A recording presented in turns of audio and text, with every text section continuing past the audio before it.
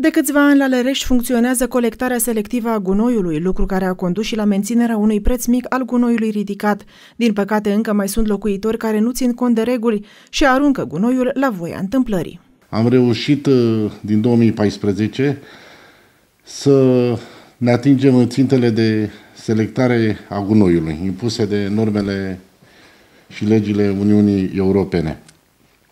Dar, din păcate, ne confruntăm uh, ca și toate localitățile, cu această reticență din partea cetățenilor în ideea de a selecta.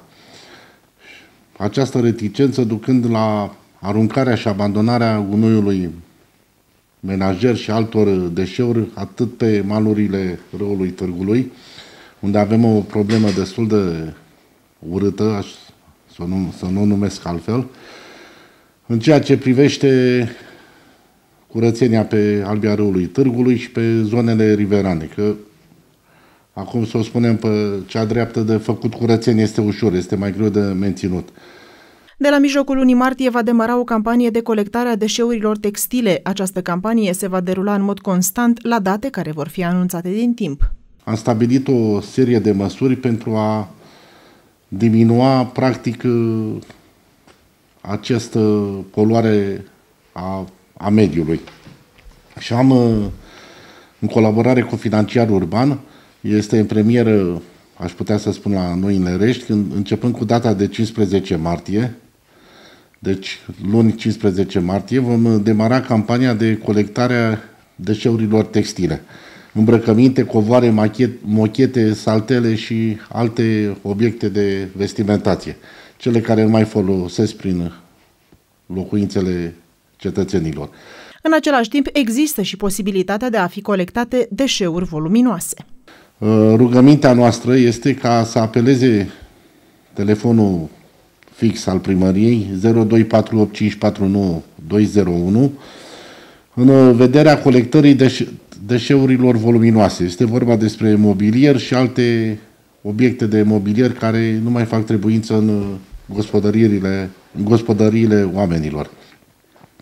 Stabilim modalitatea de colectare, de selectare, iar uh, cei de la financiar urban vor uh, veni, poate sprijini și de noi, cu personalul de la 416, pentru a ridica aceste obiecte de mobilier care nu mai fac uh, trebuință în gospodărie. Pentru a preveni aruncarea la întâmplarea gunoiului au fost luate mai multe măsuri, fiind aplicate inclusiv amenzi. Am reușit să montăm bariere pe zonele unde sunt vulnerabile și unde se aruncă cel mai mult gunoi pentru a restricționa accesul celor care aruncă, inclusiv din zona Câmpulungului am depistat și am prins uh, mașini care veneau cu gunoi din uh, municipiul Câmpulung și l-aruncau pe albia râului Târgului la Lărești.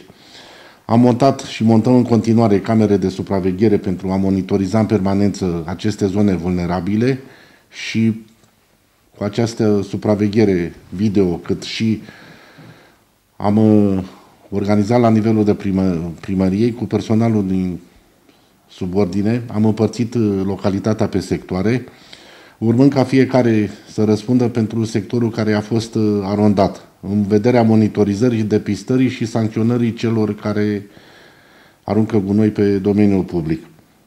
Și o spun cu părere de rău, dar trebuie să o spun și să trecem așa. Am încercat prin măsuri educative, prin a apela la conștiință, dar o parte din cetățeni nu înțeleg acest lucru și atunci, cu siguranță, o spun, vom trece și, adică deja am trecut la amenzi. La amenzi care sunt destul de mari, am ridicat și contul acestor amenzi în, prin hotărâri de Consiliul Local și pe cei depistați vom amenda să suporte rigorile legii. În situația în care sunt efectuate lucrări de construcții, persoanele în cauză trebuie să întocmească un contract pentru ridicarea deșeurilor rezultate. Toți cei care execută lucrări de construcții, modernizări, renovări, demolări, intervenții edilitare de orice natură, de pe raza comunei, din care rezultă deșeurile de construcții.